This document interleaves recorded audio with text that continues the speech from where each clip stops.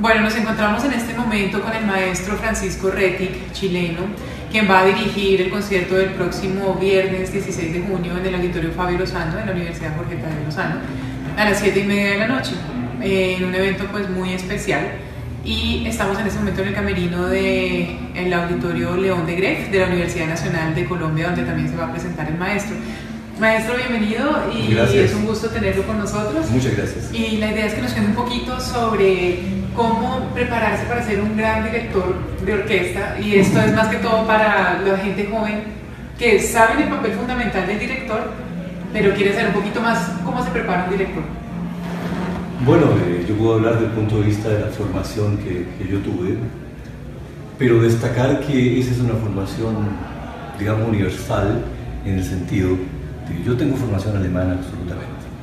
Pero también las escuelas norteamericanas, las escuelas italianas también es lo mismo.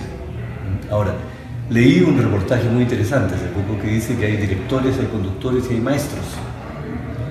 Yo creo que los grandes maestros, de los cuales pude tener la oportunidad de trabajar con ellos, conocerlos, yo creo que, el mundo está, no ha aparecido todavía el que lo reemplace. ¿no? Deben haber, yo no los conozco, pero no hay a ese nivel. Y para la formación mía, alemana, y la formación de lo que estudiamos allá, el aprendizaje de la dirección de orquesta está fundamentalmente ligado al piano. Si una persona que, que, no toca piano eh, eh, tiene un, digamos que un campo limitado, que lo puede explotar evidentemente muy bien, pero eh, porque el camino del director es la ópera. Y a la ópera no se puede llegar desafortunadamente con una guitarra, ni con una flauta, ni con un violín, porque no es posible tocar esas cosas las reducciones de orquesta, tocarlas en un instrumento así, tiene que ser el piano, ¿entiendes tú? Entonces todas las escuelas, primero para los que quieren estudiar, tienen que tener un gran nivel pianístico, eso de partida. Y después de ahí ¿no? empieza, digamos, la dirección de orquesta. Bueno, maestra, hablemos un poquito sobre el repertorio que vamos a ver en el Auditorio Fabio Luzano el próximo viernes 16 de junio a las 7 y media de la noche junto a la Orquesta Filarmónica de Bogotá, lo especial. Lo especial en lo personal es el retorno después de 12 años, encontrarme claramente de la orquesta que dirigí 12 años. Y después, bueno, en cuanto a programas, un programa yo encuentro que es muy variado. Pues todavía una obra de Amparo Ángel, compositora colombiana.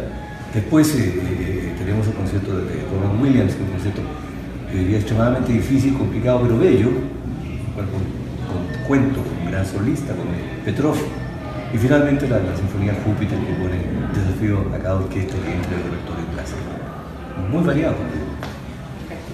Y lo último eh, sería una invitación del maestro para todas las personas que quieran ir al concierto en el Auditorio Fabio Lozano de la Tadeo el viernes. No, pues yo he tenido, tuve, mejor dicho, grande experiencia en la Tadeo Lozano, siempre con un auditorio muy bonito, muy pleno, muy lleno.